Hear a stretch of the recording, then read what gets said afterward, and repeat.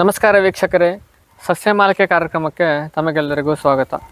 ನಾವು ಡಾಕ್ಟರ್ ಪತಂಜಲಿ ಶರ್ಮಾ, ಸಸ್ಯ ಸಂಜೀವಿನಿ ಪಂಚಕರ್ಮ ಸೆಂಟರ್, ಗೋಕರ್ಣ. ಬಹಳ ಜನ ವೀಕ್ಷಕರು ಥೈರಾಯ್ಡ್ ಬಗ್ಗೆ ಇನ್ಫಾರ್ಮೇಷನ್ ಕೊಡಲಿಕ್ಕೆ ಹೇಳ್ತಾ ಇದ್ರು.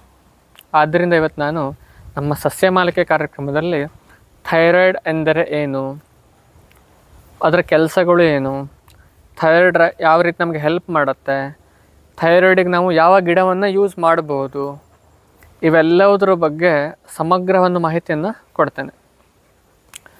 ಆಯುರ್ವೇದದಲ್ಲಿ ಹೇಳಿರುವಂಥ ಈ ಕಾಂಚನಾರ ಹೇಳುವಂಥ ಒಂದು ಗಿಡ.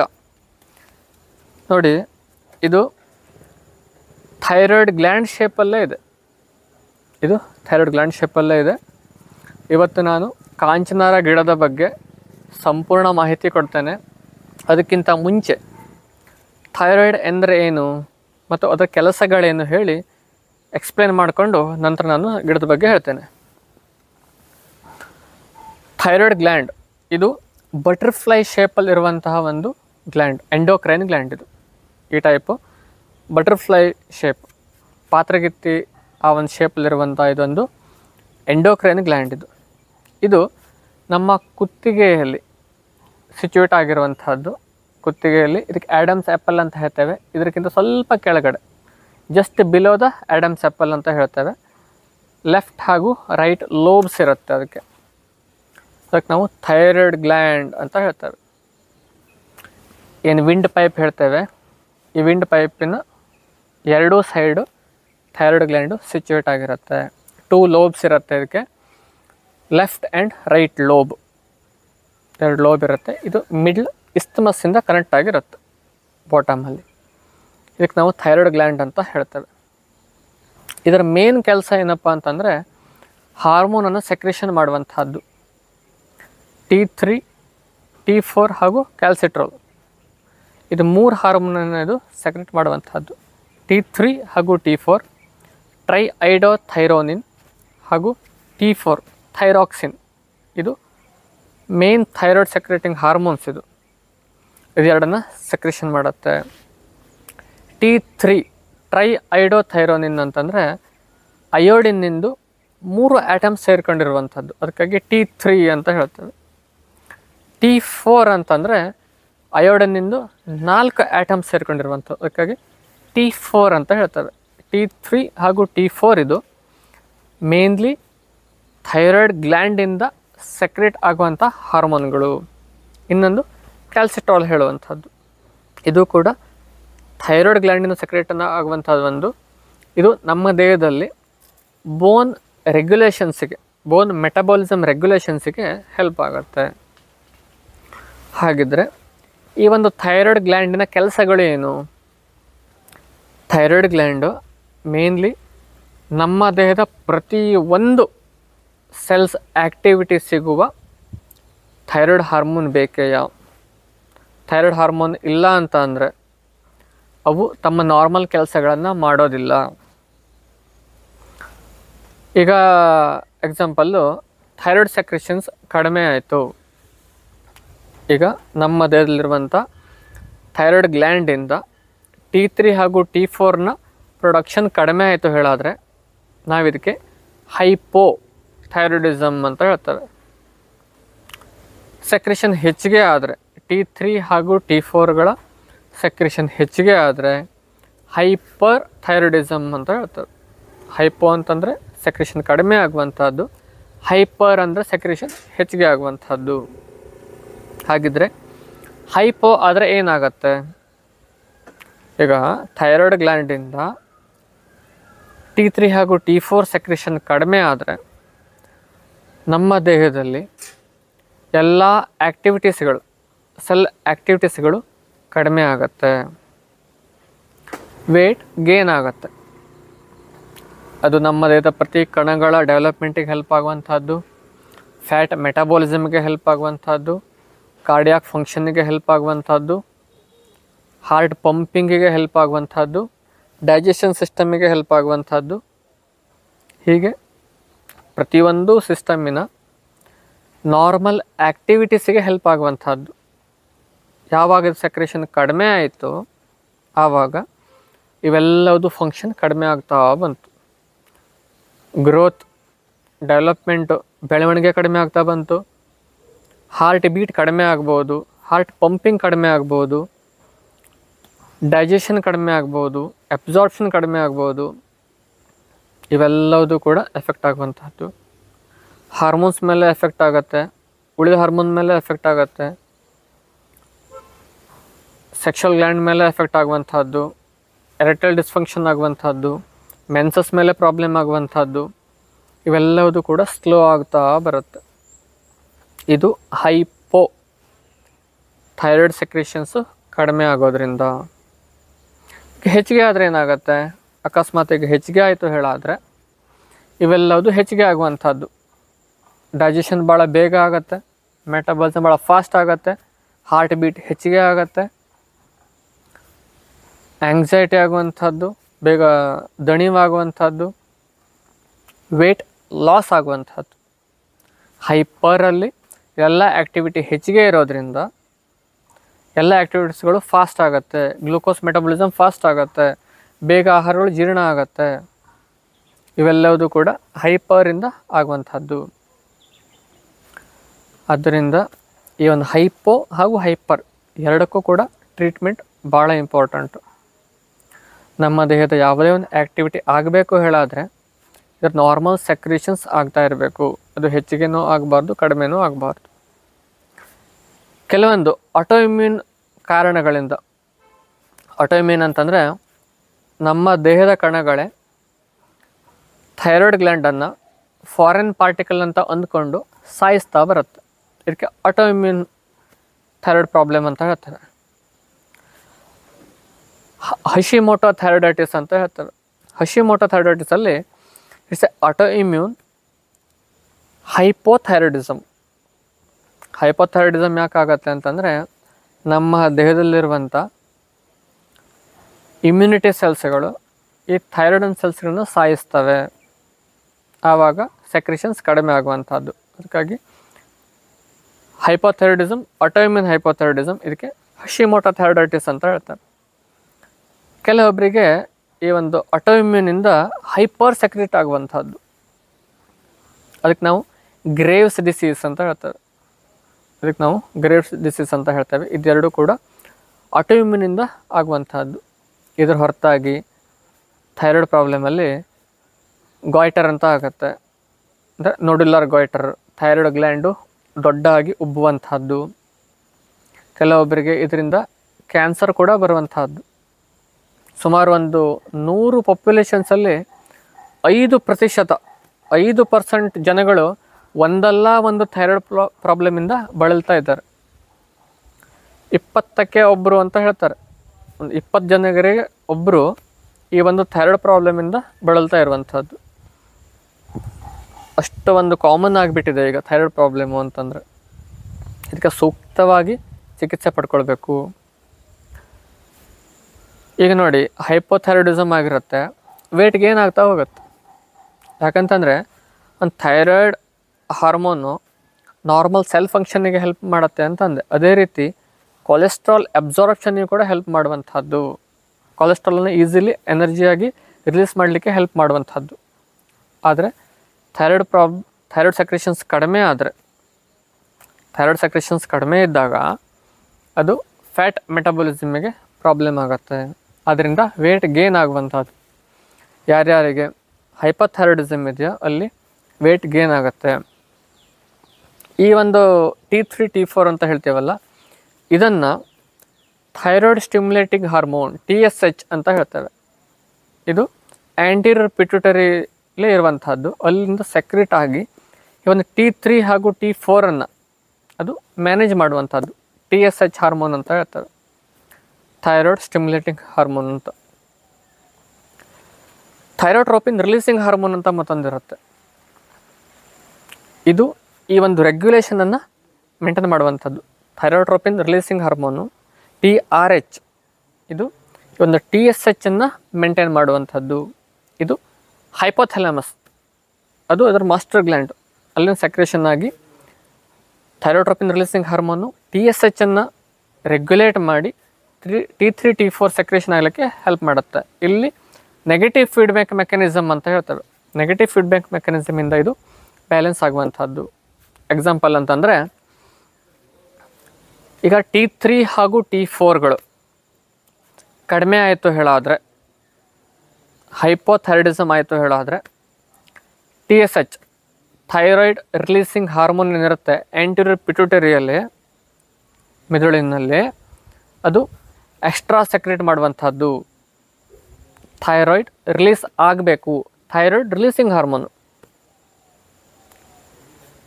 Thyroid release ಆಗಬೇಕು ಅಂತ ಅದು ಸ್ಟಿಮ್ಯುಲೇಟ್ ಮಾಡ್ತಾ ಇರುತ್ತೆ. ಬ್ರೈನ್ಸಿಂದ, ಬ್ರೈನ್ ಸೆಲ್ಸಿಂದ ಕಮಾಂಡ್ ಬರ್ತಾ ಇರುತ್ತೆ ಒಂದು ಥೈರಾಯ್ಡ್ ಗ್ಲ್ಯಾಂಡಿಗೆ. ಅದಕ್ಕಾಗಿ ಯಾವಾಗ ಟಿ ತ್ರೀ, ಟಿ ಫೋರ್ ಕಡಿಮೆ ಇರುತ್ತೋ ಆವಾಗ ಟಿ ಎಸ್ ಎಚ್ ಹೈ ಇರುತ್ತೆ. ಭಾಳೇನು ಇಲ್ಲಿ ಕನ್ಫ್ಯೂಸ್ ಮಾಡ್ಕೋತಾರೆ? ಟಿ ಎಸ್ ಎಚ್ ಹೈ ಇದೆ ಅಂತ ನನಗೆ ಹೈಪರ್ ಥೈರಾಯ್ಡಿಸಮ್ ಇದೆ ಅಂತ ಕನ್ಫ್ಯೂಸ್ ಮಾಡ್ಕೋತಾರೆ. ಟಿ ಎಸ್ ಎಚ್ಚನ್ನು ಕನ್ಸಿಡರ್ ಮಾಡಬೇಡಿ. ಟಿ ಎಸ್ ಎಚ್ ಹೇಳೋದು ಥೈರಾಯ್ಡ್ ಹಾರ್ಮೋನ್ ಅಲ್ಲ. It's a pituitary gland secretions anterior pituitary gland secrete ಆಗುವಂಥದ್ದು. ಇದು ಥೈರಾಯ್ಡ್ ಗ್ಲ್ಯಾಂಡ್ ರಿಲೀಸ್ ಆಗಲಿಕ್ಕೆ ಹೆಲ್ಪ್ ಮಾಡುವಂಥದ್ದೇ ಹೊರತು ಥೈರಾಯ್ಡ್ ಹಾರ್ಮೋನ್ ಅಲ್ಲ ಅದು. ಟಿ ಎಸ್ ಎಚ್ ಅಂದರೆ thyroid releasing hormone thyroid release ಆಗಲಿಕ್ಕೆ ಹೆಲ್ಪ್ ಮಾಡುವಂಥದ್ದು. ಮತ್ತೊಂದು T R H, thyrotropin regulating hormone ಅದು. ಟಿ ಆರ್ ಎಚ್ ಹಾಗೂ ಟಿ ಎಸ್ ಎಚ್, ಇವು ಥೈರಾಯ್ಡ್ ಹಾರ್ಮೋನ್ ಅಲ್ಲ. ಥೈರಾಯ್ಡ್ ಸೆಕ್ರೇಷನ್ಗೆ ಹೆಲ್ಪ್ ಮಾಡುವಂಥ ಒಂದು ಹಾರ್ಮೋನ್ಗಳು.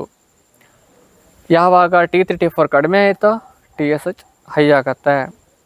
ಹೈಪೋಥೈರಡಿಸಮಲ್ಲಿ ಹೈಪರ್ ಥೈರಡಿಸಮಲ್ಲಿ ಟಿ ತ್ರೀ ಟಿ ಫೋರ್ ಹೆಚ್ಚಿಗೆ ಇರುತ್ತೆ, ಟಿ ಎಸ್ ಎಚ್ ಕಡಿಮೆ ಇರುತ್ತೆ. ಇನಫ್ ಸೆಕ್ರೇಷನ್ಸ್ ಇರೋದ್ರಿಂದ ಥೈರಾಯ್ಡ್ ಸ್ಟಿಮ್ಯುಲೇಟಿಂಗ್ ಹಾರ್ಮೋನು ಭಾಳ ಕಡಿಮೆ ಇರುತ್ತೆ ಲೋ ಆಗಿರುತ್ತೆ. ಯಾಕಂತಂದರೆ ಸ್ಟಿಮ್ಯುಲೇಷನ್ಸ್ ಬರ್ತಾ ಇರುತ್ತೆ ಸೆಕ್ರೇಷನ್ಸ್ ಕಡಿಮೆ ಸಾಕು ಅಂತ. ಇದು ನಿಮಗೆ ನಾನು ಥೈರಾಯ್ಡ್ ಬಗ್ಗೆ ಕೆಲವೊಂದು ಇನ್ಫಾರ್ಮೇಷನ್ಸ್ಗಳನ್ನು ಹೇಳಿದೆ ಇನ್ ಡಿಟೇಲ್ ಆಗಿ. ಥೈರಾಯ್ಡ್ ಅಂದರೆ ಏನು? ಥೈರಾಯ್ಡ್ ಹಾರ್ಮೋನ್ಸ್ಗಳು ಯಾವ್ಯಾವುದು ಅಂತ.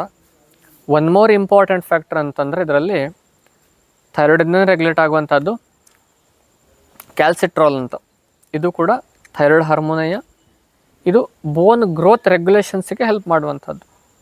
ನಾವು ಆಸ್ಟಿಯೋಕ್ಲಾಸ್ಟ್ಸ್ ಅಂತ ಹೇಳ್ತಾರೆ ಆಸ್ಟಿಯೋಕ್ಲಾಸ್ಟ್ಸ್ ಅಂತಂದರೆ ಏಜ್ ಆಗಿರುವಂಥ ಬೋನ್ ಸೆಲ್ಸನ್ನು ವಯಸ್ಸಾಗಿರುವಂಥ ಬೋನ್ ಸೆಲ್ಸ್ಗಳನ್ನು ಸಾಯಿಸಿ ವಾಪಸ್ ಬೋನ್ ಗ್ರೋತಿಗೆ ಹೆಲ್ಪ್ ಮಾಡುವಂಥದ್ದು.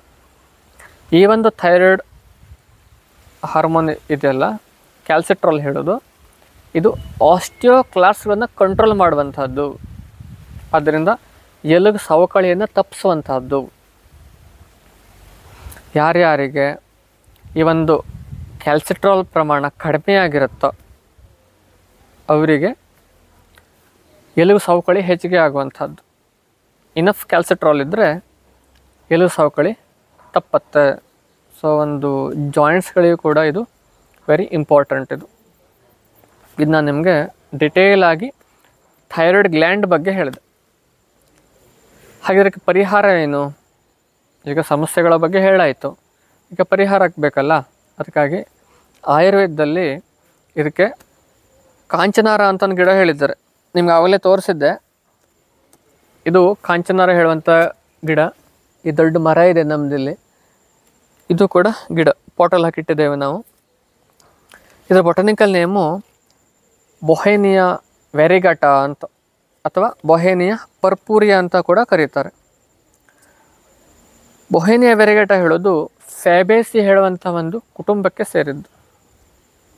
ಸಿಸಲ್ಪೆನ್ಯಸಿ ಫೆಬೇಸಿ ಈ ಒಂದು ಕುಟುಂಬಕ್ಕೆ ಸೇರಿದ್ದು. ಇದು ಕೊಟಲಿಡನ್ಸ್ ಇದು. ಇದು ಈಸಿಲಿ ಈ ಟೈಪ್ ಪಾಡ್ಸ್ ಆಗುತ್ತೆ. ನೋಡ್ಬೋದು ಪಾಡ್ಸ್ ಆಗುತ್ತೆ. ಈ ಒಂದು ಪಾಟ್ಸ್ಗಳು ಆಟೋಮೆಟಿಕ್ ಓಪನ್ ಆಗಿ ಬೀಳುತ್ತೆ. ಒಳಗಡೆ ಲೆಗ್ಯೂಮ್ ಟೈಪಲ್ಲಿ ಇರುತ್ತೆ. ಬೀಜಗಳು ಲೆಗ್ಯೂಮ್ ಟೈಪಲ್ಲಿ ಇರುತ್ತೆ ಇದು. ಇದೊಂದು ಮಾಡ್ರೇಟ್ ಸೈಜ್ ಟ್ರೀ ಭಾಳ ದೊಡ್ಡ ಆಗುವಂಥ ಮರ ಅಲ್ಲ. ಸುಮಾರು ಹದಿನೈದರಿಂದ ಇಪ್ಪತ್ತು ಮೀಟ್ರ್ ಹೈಟ್ ಆಗುವಂಥ ಒಂದು ಮಾಡ್ರೇಟ್ ಸೈಜ್ ಟ್ರೀ ಇದು. ಇದರ ಎಲೆಗಳು ಈ ಶೇಪಲ್ಲಿ ಇರುತ್ತೆ. ಒಬ್ಬುಕಾರ್ಡೇಟ್ ಅಂತ ಹೇಳ್ತೇವೆ ನಾವು ಇದಕ್ಕೆ ಕಾರ್ಡೇಟ್ ಮತ್ತು ಒಬ್ಬುಕಾರ್ಡೇಟ್ ಕಾರ್ಡೇಟ್ ಶೇಪ್ ಹೇಳೋದು ಈ ಗುಡುಚಿ ಅಮೃತ ಬಳ್ಳಿಗೆಲ್ಲ ಕಾರ್ಡೇಟ್ ಹೇಳ್ತವೆ. ಇದಕ್ಕೆ ನಾವು ಒಬ್ಬುಕಾರ್ಡೇಟ್ ಲೀಫ್ ಅಂತ ಹೇಳ್ತೇವೆ. ನೀವು ಇಲ್ಲಿ ನೋಡ್ಬೋದು. ಇದು ಒಬ್ಬುಕಾರ್ಡೇಟ್ ಲೀವ್ಸ್ ಇದರಲ್ಲಿ ಬಿಳಿ ವೆರೈಟೀಸಿಂದು ಇದೆ ಕಾಂಚನಗರದಲ್ಲಿ ಬಿಳಿ ಜಾತಿದಿದು ಇದು. ಕೆಂಪು, ರೆಡ್ ವೆರೈಟಿ ನೀವು ಇಲ್ಲಿ ನೋಡ್ಬೋದು. ಸುಮಾರು ಪಿಂಕ್ ಕಲರ್ ಹೂವಾಗಿದೆ. ಅದಕ್ಕೆ ಪರ್ಪುರಿಯ, ಬೊಹೇನಿಯಾ ಪರ್ಪುರಿಯಾ ಅಂತ. ಪರ್ಪುರಿಯಾ ಅಂತಂದರೆ pink colour purple to pink colour ಹೂವಾಗುವಂಥದ್ದು ಅದಕ್ಕಾಗಿ ಪರ್ಪೂರಿಯ ಅಂತ ಹೇಳ್ತಾರೆ. ವೆರಿಗೇಟ ಅಂದರೆ ವೆರಿಗೇಟೆಡ್ ಲೀಫ್ ಇರುತ್ತೆ ಅಂತ. ಅದಕ್ಕಾಗಿ ವೆರಿಗೇಟ ಅಂತ ಹೇಳ್ತಾರೆ. ಬೊಹೇನಿಯಾ ವೆರಿಗೇಟ ಅಥವಾ ಬೊಹೇನಿಯಾ ಪರ್ಪೂರಿಯ ಬೊಟಾನಿಕಲ್ ನೇಮು ಫ್ಯಾಬೇಸ್ ಹೇಳುವಂಥ ಒಂದು ಕುಟುಂಬಕ್ಕೆ ಸೇರಿದ್ದು. ಇದರ useful part mainly bark collect ಮಾಡಿದ್ದೇವೆ. ಬಾರ್ಕ್ ಚಕ್ಕೆ. ಅದನ್ನು ಒಂದೊಂದೇ ಸೈಡ್ ನಾವು ಏಳಿಸ್ಬೇಕು. ಏಳಿಸ್ಕೊಂಡು ಐದರಿಂದ ಹತ್ತು ಗ್ರಾಮ್ ಆಗುವಷ್ಟು ಕಷಾಯ ಮಾಡಿ ಕುಡಿಬೋದು. ಆಯುರ್ವೇದದಲ್ಲಿ ನೀವು ಕಾಂಚನ ಗುಗ್ಗುಳು ಕೇಳಿರ್ಬೋದು. ಕಾಂಚನ ಗುಗ್ಗುಳು ಹೇಳೋದು ಈ ಒಂದು ಕಾಂಚನ ಮರದಿಂದ ಆಗಿದ್ದು. ಆಚಾರ್ಯ ಚರಕರು ಇದನ್ನು ವಮನೋಪಕರಣದಲ್ಲಿ ಹೇಳಿದ್ದಾರೆ. ವಮನ ಅಂದರೆ ವಾಂತಿ ಮಾಡಲಿಕ್ಕೆ ಹೆಲ್ಪ್ ಆಗುವಂಥದ್ದು ಇದರ ಕಷಾಯಗಳು. ಆಚಾರ್ಯ ಸುಶ್ರುತರು ಕೂಡ ಇದನ್ನು ಕಷಾಯ ಸ್ಕಂದ ಹಾಗೂ ವಮನೋಪಕದಲ್ಲಿ ಹೇಳಿರುವಂಥದ್ದು ಈ ರಸಪಂಚಕ ಬಂದಾಗ ರಸದಲ್ಲಿ ಕಷಾಯ ಚೊಗರು ಟೇಸ್ಟ್ ಇರುತ್ತೆ. ಲಘುರೂಕ್ಷ ಗುಣ ಶೀತವೀರ್ಯ ಹಾಗೂ ಕಟುವಿಪಾಕ. ಇದು ತ್ರಿದೋಷ ಶಮನ ಮಾಡುವಂತಹ ಒಂದು ಕೆಪಾಸಿಟಿ ಇದೆ. ವಾತ, ಪಿತ್ತ, ಕಫ ಮೂರೂ ಒಂದು ದೋಷಗಳನ್ನು ಕಡಿಮೆ ಮಾಡುವಂಥ ಒಂದು ಅದ್ಭುತ ಗುಣ ಕಾಂಚನ ಗಿಡದಲ್ಲಿ ಇದೆ. ಕೆಲವೊಂದು ಹೂವುಗಳನ್ನು. ಇದು ಪಿಂಕ್ ಇರ್ಬೋದು ಅಥವಾ ವೈಟ್ ಇರ್ಬೋದು. ಇದು ಶ್ರೇಷ್ಠ. ಈ ಕಾಂಚನಾರ ಏನಿದೆ ಪಿಂಕ್ ಕಲರ್ದು ಶ್ರೇಷ್ಠ. ಇದರ ಹೂವಿನ ಎಸಳುಗಳನ್ನು ನಾವು ಗುಲ್ಕಂದ್ ಟೈಪ್ ಮಾಡ್ಬೋದು, ಜಾಮ್ ಮಾಡ್ಬೋದು. ಆ ಟೈಪ್ ಮಾಡಿ ನಾವು ಜಾಮ್ ಮಾಡಿ ಅಡುಗೆಯಲ್ಲಿ ಉಪಯೋಗಿಸ್ಬೋದು. ಇದರ ಚಿಗುರು ಎಲೆಗಳು ಹಾಗೂ ಹಸಿರು ಪಾಡ್ಸ್ ಎಳೆ ಏನು ಪಾಡ್ ಬಂದಿರುತ್ತೆ ಅದರದ್ದು, ಕಾಯಿ. ಅದನ್ನು ಚಟ್ನಿ ಮಾಡಲಿಕ್ಕೆ, ಪಲ್ಯ ಮಾಡಲಿಕ್ಕೆ, ಸಾಂಬಾರಿಗೆ ಇದನ್ನೆಲ್ಲ ಉಪಯೋಗಿಸೋದ್ರಿಂದ ಈ ಒಂದು ಥೈರಾಯ್ಡ್ ಪ್ರಾಬ್ಲಮ್ ಬರ್ದಿದ್ದಂಗೆ ನಾವು ಪ್ರಿವೆಂಟ್ ಮಾಡ್ಬೋದು. ಬೆಳೆಸೋದು ಭಾಳ ಈಸಿ ಇದು. ಭಾರತದಲ್ಲಿ ಎಲ್ಲ ಕಡೆ ಆಗುತ್ತೆ. ಟ್ರಾಪಿಕಲ್ ಏರಿಯಾದಲ್ಲಿ ಈಸಿಲಿ ಬೆಳೆಯುವಂಥದ್ದು. ಇನ್ನೂ ಕಾಂಪ್ಲಿಕೇಶನ್ ಇಲ್ಲ. ಈಸಿಲಿ ಬೆಳೆಸ್ಬೋದು ಇದನ್ನು. ಎಲ್ಲ ಏರಿಯಲ್ಲಿ ಬೆಳೆಯುತ್ತೆ. ಭಾಳ ಮೇಂಟೆನೆನ್ಸ್ ಏನು ಅವಶ್ಯಕತೆ ಇರೋದಿಲ್ಲ ಈಸಿಲಿ ಬೆಳೆಯುತ್ತೆ. ಡ್ರೈ ಏರಿಯಾದಲ್ಲೂ ಬೆಳೆಯುತ್ತೆ. ವೆಟ್ ಏರಿಯಾದಲ್ಲೂ ಬೆಳೆಯುತ್ತೆ. ಹೈ ಆ್ಯಟಿಟ್ಯೂಡಲ್ಲೂ ಬೆಳೆಯುತ್ತೆ. ಕರಾವಳಿಯಲ್ಲೂ ಬೆಳೆಯುತ್ತೆ. ಎಲ್ಲ ಕಡೆಗೂ ಇದು ಬೆಳೆಯುವಂಥದ್ದು. ಈಸಿಲಿ ಬೆಳೆಯುವಂಥದ್ದು. ಬೆಳಿಲಿಕ್ಕೇನು ಪ್ರಾಬ್ಲಮ್ ಇಲ್ಲ. ಈಸಿಲಿ ಬೆಳ್ಕೋಬೋದು. ಇದರ ಬಾರ್ಕನ್ನು ಮೇನ್ಲಿ ಯೂಸ್ ಮಾಡ್ತೇವೆ. ಇದರ ಬಾರ್ಕಿನ ಕಷಾಯವನ್ನು ಈ ಒಂದು ಹೈಪೋ ಹಾಗೂ ಹೈಪರ್ ಎರಡಕ್ಕೂ ಕೊಡ್ಬೋದು. ಇದು ಒಂದು ನಮ್ಮ ಥೈರಾಯ್ಡ್ ಗ್ಲ್ಯಾಂಡನ್ನು ಸ್ಟ್ರೆಂಥನಿಂಗ್ ಮಾಡುತ್ತೆ. ನಮ್ಮದು ಇಮ್ಯುನಿಟಿಯನ್ನು ಸ್ಟ್ರಾಂಗ್ ಮಾಡುತ್ತೆ. ಅದನ್ನು ಇಂಪಾರ್ಟೆಂಟ್ ಅಂತಂದರೆ ಇದು ಶೀತವೀರ್ಯ ಇದು. ಶೀತವೀರ್ಯ ಇರೋದ್ರಿಂದ ಏನು ಮೆನ್ಸಸ್ ಬ್ಲೀಡಿಂಗ್ ಆಗ್ತಾ ಇರುತ್ತಲ್ಲ, ಸಿಕ್ಕಾಪಟ್ಟೆ ಬ್ಲೀಡಿಂಗ್ ಆಗೋವರಿಗೆ ಇಲ್ಲ ಬರೀ ಫೈಬ್ರಾಯ್ಡ್ ಯೂಟ್ರಸ್ ಇದ್ದವರಿಗೆ, ಅವರೆಲ್ಲರೂ ಕೂಡ ಇದರ ಕಷಾಯ ಕೊಡೋದ್ರಿಂದ ಅದ್ಭುತವಾದ ರಿಸಲ್ಟ್ ಬರ್ತಾ ಇದೆ ನಮಗಿಲ್ಲಿ. ನಾವು ನಮ್ಮ ಹಾಸ್ಪಿಟಲಲ್ಲಿ ಈ ಥೈರಾಯ್ಡ್ ಪ್ರಾಬ್ಲಮ್ ಇದ್ದವರಿಗೆ ಕಾಂಚನಾರ ಚಕ್ಕೆಯನ್ನು ಯೂಸ್ ಮಾಡ್ತೇವೆ, ಕಾಂಚನಾರ ಹೂವನ್ನು ಯೂಸ್ ಮಾಡ್ತೇವೆ, ಕಾಂಚನಾರ ಚಿಗುರನ್ನು ಯೂಸ್ ಮಾಡ್ತೇವೆ. ಇದರ ಪಲ್ಯ ಅಂತೂ ಭಾಳ ಟೇಸ್ಟ್ ಆಗುತ್ತೆ. ಕಾಂಚನಾರ ಪಾಟ್ಸಿಂದ ಪಲ್ಯ ಮಾಡಿದರೆ ಭಾಳ ಟೇಸ್ಟ್ ಆಗುತ್ತೆ. ಇದು ಬರೀ ಥೈರಾಯ್ಡ್ ಪ್ರಾಬ್ಲಮ್ ಅಷ್ಟೇ ಅಲ್ಲದೆ ನಮ್ಮ ದೇಹದಲ್ಲಿರುವಂಥ ಗಂಟುಗಳನ್ನು ಕರೆಸುವಂಥ ಗುಣ ಇದೆ. ಬರೀ ಥೈರಾಯ್ಡ್ ಅಷ್ಟೇ ಅಲ್ಲದೆ ಎಲ್ಲೇ ನಮ್ಮದಲ್ಲಿ ಗಂಟು ಇರ್ಬೋದು ಕ್ಯಾನ್ಸರ್ ಗಂಟುವರೆಗೂ ಇರ್ಬೋದು, ಆ ಒಂದು ಕ್ಯಾನ್ಸರ್ ಗಂಟನ್ನು ಕೂಡ ಕರಗಿಸುವಂಥ ಗುಣ ಈ ಒಂದು ಕಾಂಚನಾರ ಗಿಡಕ್ಕಿದೆ. ನಾವು ಇದನ್ನು ಕಾಂಚನಾರ ಚಕ್ಕೆ ಮಾಡ್ಬೋದು, ಕಾಂಚನಾರ ಕಷಾಯ ಮಾಡ್ಬೋದು ಕಾಂಚನಾರ ಚೂರ್ಣ ಮಾಡ್ಬೋದು, ಕಾಂಚನಾರ ವಟಿ ಮಾಡ್ಬೋದು, ಈ ಬೇರೆ ಬೇರೆ ರೀತಿಯಲ್ಲಿ ತಗೋಬೋದು. ಇದರ ಬಾರ್ಕನ್ನು ಯೂಸ್ ಮಾಡೋದ್ರಿಂದ ರಿಸಲ್ಟ್ ಚೆನ್ನಾಗಿ ಬರ್ತದೆ. ಇದನ್ನು ಇಷ್ಟೊಟ್ಟು ಚಕ್ಕೆಯನ್ನು ಚೆನ್ನಾಗಿ ಜಪ್ಪಿ, ನೀವು ಕಷಾಯ ಮಾಡಿದ್ರೆ ಸ್ವಲ್ಪ ಕೆಂಪು ಕಲರ್ ಡಿಕಾಕ್ಷನ್ ಬರುತ್ತೆ ಇದು. ರೆಡ್ ಕಲರ್ದು ಡಿಕಾಕ್ಷನ್ ಬರುತ್ತೆ. ಅದನ್ನು ಟೂ ಟೈಮ್ಸ್ ತಗೋಬೇಕು, ಬೆಳಗ್ಗೆ ಮತ್ತು ಸಂಜೆ. ನಿತ್ಯ ಯೂಸ್ ಮಾಡ್ಬೋದು. ಏನು ಸೈಡ್ ಎಫೆಕ್ಟ್ ಏನೂ ಇರೋದಿಲ್ಲ ರೆಗ್ಯುಲರ್ ಆಗಿ ಯೂಸ್ ಮಾಡ್ಬೋದು. ನಾನು ನಿಮಗೀಗ ಯಾವ ರೀತಿ ಚಕ್ಕೆ ತೆಗಿಬೇಕು ಅಂತ ತೋರಿಸ್ತೇನೆ ನಿಮಗೀಗ ಕಾಂಚನ ಮರ ಇದೆ ಇದೆ ಕಾಂಚನರ ಮರ ನಮ್ಮದು ಯಾವ ರೀತಿ ಬಾರ್ಕನ್ನು ತೆಗಿಬೇಕು ಅಂತ ತೋರಿಸ್ತೇನೆ ಬನ್ನಿ. ನಾನು ನಿಮಗೆ ಇದು ಕಾಂಚನರ ಮರ, ಇದ್ರ ಚಕ್ಕೆ ತೆಗೆದು ಹೇಗೆ ಅಂತ ಹೇಳ್ತೇನೆ. ನಿಮ್ಮಲ್ಲಿ ನೋಡ್ಬೋದು, ನಾವು ಫುಲ್ಲು ತೆಗಿತಾ ಇರ್ತೇವೆ ಟ್ರೀಟ್ಮೆಂಟಿಗೆ ಇಲ್ಲೆಲ್ಲ ತೆಗೆದಿದ್ದಾರೆ. ಈಗ ಇದ್ರದ್ದು ನಾನು ತೆಗೆದಿದ್ದೆ ಆವಾಗ. ಇದನ್ನು ತೆಗೆದು ಹೇಳ್ತೇನೆ. ಒಂದು ಸೈಡಿಂದ ತಕ್ಕೊಂತ ಹೋಗಬೇಕು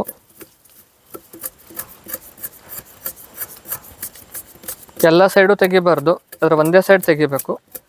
ಈಸಿಲಿ ಬರುತ್ತೆ ನೋಡಿ. ಫೈಬರ್ ಕಂಟೆಂಟ್ ಭಾಳ ನಾರಿರುತ್ತೆ ಅದಕ್ಕೆ. ಈಸಿಲಿ ಬರುತ್ತೆ ತೆಗಿಲಿಕ್ಕೆ. ಕಷ್ಟ ಏನಿಲ್ಲ.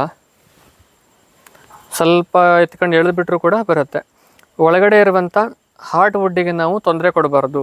ಮೇಲಿನ ಮೇಲೆ ಎಳೆ ತೆಗಿಬೇಕು. ಹೊಸ ಚಲ್ಲಿ ಬರುತ್ತೆ ನೀವು ಇಲ್ಲಿ ನೋಡ್ಬೋದು. ಇಲ್ಲಿ ನೋಡಿ. ಇದು ನಾವು ಸ್ಕಿನ್ ತೆಗೆದಿದ್ದು ಮತ್ತೆ ಕವರ್ ಆಗ್ತಾ ಇದೆ. ಸೊ ನಾವು ನೆಕ್ಸ್ಟ್ ಇಯರ್ ಈ ಕಡೆ ಮತ್ತೆ ತೆಗಿತೇವೆ ಈ ರೀತಿ ನಾವು ಒಂದೊಂದೇ ಸೈಡಿನ ತಗೊಬಂದರೆ ಮರಕ್ಕೂ ಏನು ತೊಂದರೆ ಆಗೋದಿಲ್ಲ. ನಾವು ಸಾಕಷ್ಟು ಅದಕ್ಕೆ ನ್ಯೂಟ್ರಿಯೆಂಟ್ಸ್ಗಳನ್ನು ಕೊಡ್ತಾ ಇರ್ತೇವೆ, ಪೋಷಕಾಂಶ ಕೊಡ್ತಾ ಇರ್ತೇವೆ. ಸೊ ಏನೂ ಪ್ರಾಬ್ಲಮ್ ಆಗೋದಿಲ್ಲ. ನಿಮಗೆ ಇದರಲ್ಲಿ ಯಾವುದಾದ್ರು ಡೌಟ್ ಇದ್ದರೆ ಕಾಮೆಂಟ್ ಬಾಕ್ಸಿಗೆ ಹೋಗಿ ಕಾಮೆಂಟ್ ಮಾಡ್ಬೋದು. ಮತ್ತು ಯಾವುದಾದ್ರು ಬೇರೆ ಇನ್ಫಾರ್ಮೇಷನ್ ಬೇಕಿದ್ರೆ ನಾನು ನಿಮಗೆ ಹೇಳ್ತೇನೆ. ನಿಮಗೆ ಈ ವಿಡಿಯೋ ಇಷ್ಟ ಆದರೆ ದಯವಿಟ್ಟು ಲೈಕ್ ಮಾಡಿ ನಿಮ್ಮ ಫ್ರೆಂಡ್ಸ್ಗಳಿಗೆ ಶೇರ್ ಮಾಡಲಿಕ್ಕೆ ಮರಿಬೇಡಿ. ಇದೇ ರೀತಿ ಹೊಸ ವಿಡಿಯೋ ನಿಮ್ಮ ಮುಂದೆ ಬರ್ತೇನೆ. ಅಲ್ಲಿಯವರೆಗೆ ನಮಸ್ಕಾರ.